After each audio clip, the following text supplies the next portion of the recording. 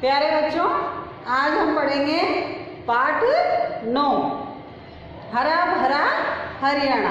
क्या नाम है बच्चों पाठ का? हरा भरा हरियाणा। प्रस्तुत पत्र में हमारे देश के एक छोटे से राज्य, हरियाणा की स्थिति तथा प्राकृतिक सुषमा का आकर्षक वर्णन किया गया है। देखो बच्चों, ये जो पाठ है, वो क्या है, एक पत्र है। पत्र लिखा गया है अपने एक दोस्त को, दूसरे मित्र को। एक मित्र के द्वारा दूसरे मित्र को पत्र लिखा गया है इस पाठ के अंतर्गत। और इस पाठ में हरियाणा जो एक छोटा सा राज्य है, वहाँ की जो छटा है, उसका वर्णन किया गया है। परीक्षा भवन नई दिल्ली 11 अक्टूबर। ये है जो लिख रहा है ना, जिस मित्र ने अपने मित्र को पत्र लिखा है, जिसके द्वारा यह पत्र लिखा गया है, उसका पता है। प्रिय विनायक, क्या नाम है मित्र का, जिसको पत्र लिख रहा है? विनायक। प्रिय विनायक, तुम्हें यह जानकर प्रसन्नता होगी कि मुझे सिरसा के केंद्रीय विद्यालय में प्रवेश मिल गया है। पापा जी के स्थानांतरण। स्थानांतरण मतलब ट्रांसफ़र हो गया वहाँ से। जहाँ वो नौकरी करते थे, वहाँ से उनका तबादला हो गया है। के समय सभी मेरे बारे में काफ़ी चिंतित थे। गुजरात से हरियाणा आकर सब कुछ बदला सा लग रहा है। पहले कहाँ रहता था वो? गुजरात में रहते थे और गुजरात से उसके पापा का जो स्थानांतरण हो गया तो फिर वो कहाँ रहने लगे?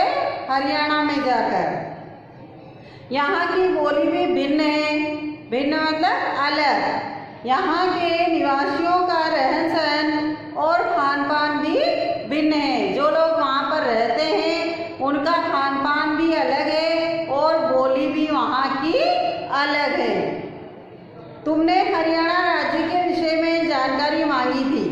सो मैं तुम्हें यह जानकारी देने के लिए पत्र लिख रहा हूँ। स्वतंत्र राज्य बनने से पूर्व हरियाणा पंजाब राज्य का अंग था। किसका अंग था? पंजाब राज्य का। जब स्वतंत्र राज्य नहीं बना था, उसके पहले हरियाणा पंजाब राज्य का अंग था। इसे स्वतंत्र राज्य बनाया गया। हरियाणा भारत का ऐतिहासिक राज्य है। कैसा राज्य है बच्चों? हरियाणा भारत का ऐतिहासिक राज्य इसमें भारत की प्राचीन सभ्यता के अवशेष पाए गए हैं। यहाँ पर जो हमारी प्राचीन सभ्यता है, उसके अवशेष कहाँ पर मिले हैं? हरियाणा में पाए गए हैं। महाभारत का युद्ध इसी राज्य के कुरुक्षेत्र में लड़ा गया था। महाभारत का जो युद्ध हुआ था, वो भी हरियाणा के ही कुरुक्षेत्र में हुआ था। यहाँ प्रसिद्ध सरस्वती नदी बहती थी, जिसके किनारे वेदों की रचना हुई थी। कौन सी नदी निकलती है हरियाणा में? सरस्वती नदी।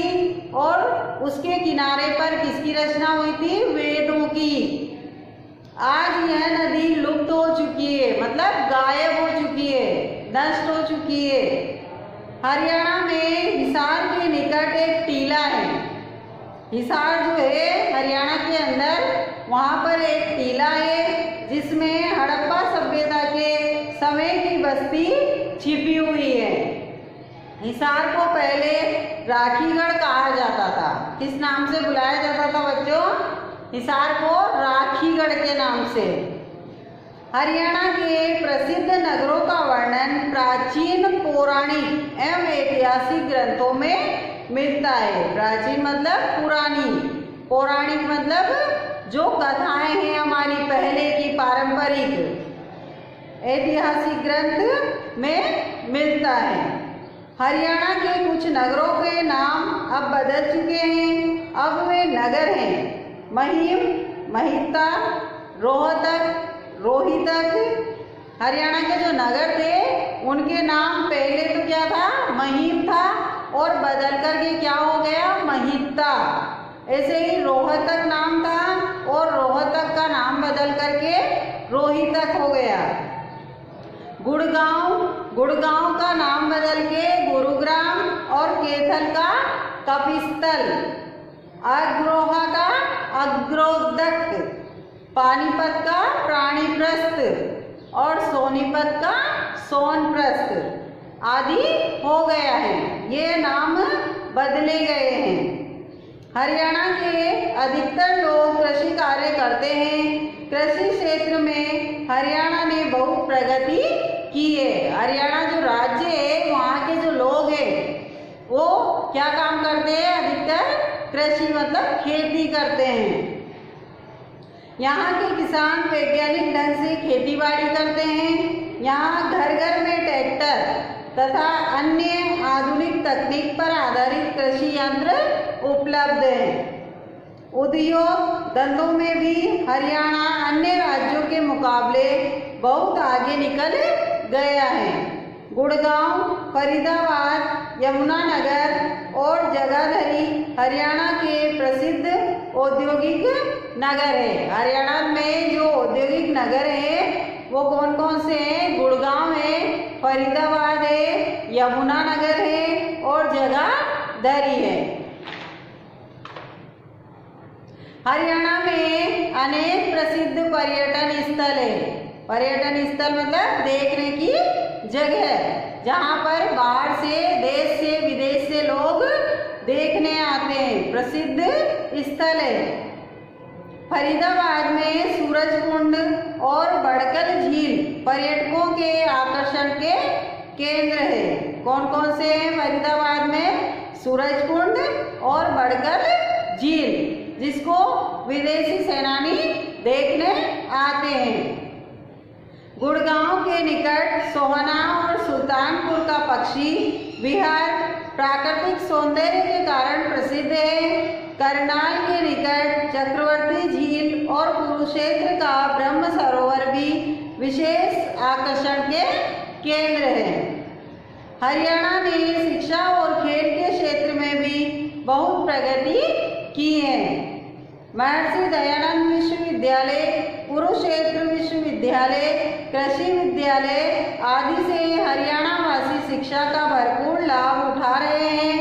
कपिल देव और वीरेंद्र सहवाग जैसे खिलाड़ियों तथा कल्पना चावला जैसी अंतरिक्ष यात्री ने हरियाणा की शान में चार चाँद लगा दिए हैं। ये सब जो खिलाड़ी है, इन्होंने हरियाणा की जो हरियाणा की जो शान है दशा है, उसमें चार चाँद लगा दिए। इनकी मेहनत से हरियाणा का नाम आगे बढ़ा है। यहाँ के लोग सीधे और सरल स्वभाव के हैं। यहाँ अनेक लेखक और कवि हुए हैं। सिरसा, केतल, फरीदाबाद और गुड़गांव नगर साहित्य और संस्कृति के प्रमुख केंद्र है। हरियाणा वासी हरियाणा राज्य की विशेषता प्रकट करते हुए कहते हैं, देशा में देश हरियाणा। अर्थात देशों में देश कौन सा है? हरियाणा। जित, दूध, दही, खाना।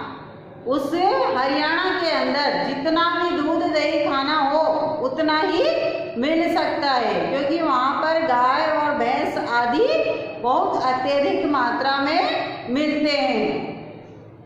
अर्थात देशों में हरियाणा विशेष प्रदेश है, जहाँ के निवासी दूध और दही खाते हैं। आशा है गुजरात में बैठे बैठे तुम्हें हरियाणा की झलक मिल गई होगी।